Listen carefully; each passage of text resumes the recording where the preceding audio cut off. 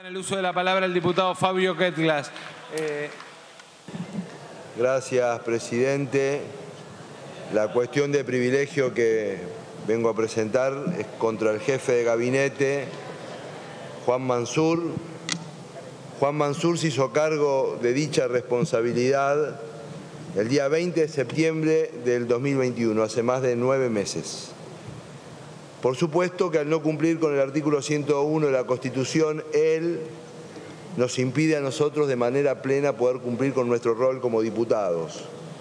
Pero lo que yo quiero remarcar, porque probablemente Juan Mansur venga y establezcamos una conversación en torno a las circunstancias que vive el país, es qué pasó en estos nueve meses, que probablemente quede licuado en una presentación donde la coyuntura lo ganará todo. Cuando Juan Mansur asumió como jefe de gabinete, la inflación en la Argentina era 3,3%, según el INDEC en octubre, y volaba al 54% anual, ahora es el 5,1% y vuela al 60,7% anual.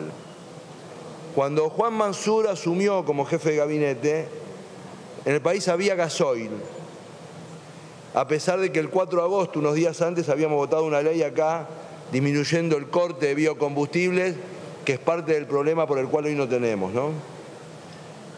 Cuando Juan Mansur asumió como jefe de gabinete, estaba en proceso de licitación un gasoducto que iba a contribuir a resolver el sector externo argentino. Esa licitación está prácticamente paralizada el día de hoy. Cuando Juan Mansur asumió como jefe de gabinete, la Argentina inició un ciclo de posicionamiento internacional errático que debe ser un récord mundial porque votó en distintas direcciones, en diferentes organismos internacionales, sobre la misma materia con diferencia de días.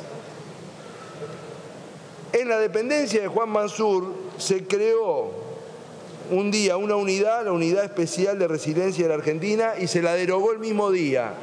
Otro récord mundial que debe haber estado cumplido Juan Mansur.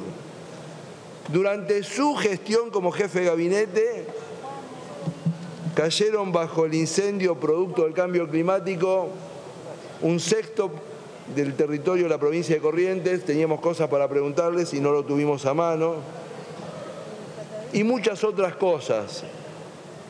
Yo creo que se trata de un desprecio institucional mayúsculo, que aspira a que el tiempo oculte este conjunto de realidades inexorables que erosionan la confianza de los argentinos en las instituciones y nos impiden ser mejores. No traigo esta cuestión de privilegio a modo de chicana.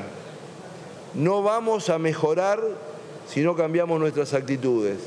Y esta actitud de negar este rol del Parlamento es parte de la erosión democrática que estamos viendo en Argentina. Gracias, presidente. gracias, diputado.